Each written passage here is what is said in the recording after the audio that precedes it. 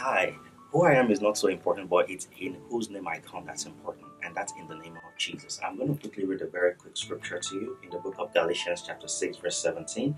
It says, From now on, let no one trouble me, for I bear on my body the marks of the Lord Jesus. And that's why I've come to pray for you today that in the name of Jesus, that anything that is troubling your life, whatever it's if it's in your job, if it's at home, it's finances, anything at all that's troubling you, I speak peace unto it right now in the name of Jesus. I decree that whatever is troubling your finance, I speak peace, calm into it right now in the name of Jesus. May the power of God, the grace of God, the Spirit of God, the wisdom of God that you need to create wealth, may it begin to fall upon you right now in the name of Jesus. If it's over your health, I speak healing upon you right now in the name of Jesus because the plans of God for you are of good and not of evil. And therefore, I decree that that great plan of healing, of health, of wealth come upon you right now in the name of Jesus. Anybody that is troubling you, troubling your business, any factor of the economy that is troubling your business, I speak peace unto it right now in the name of Jesus. From now on, let no man trouble you, for you bear your body the mark of our Lord and Savior Jesus Christ.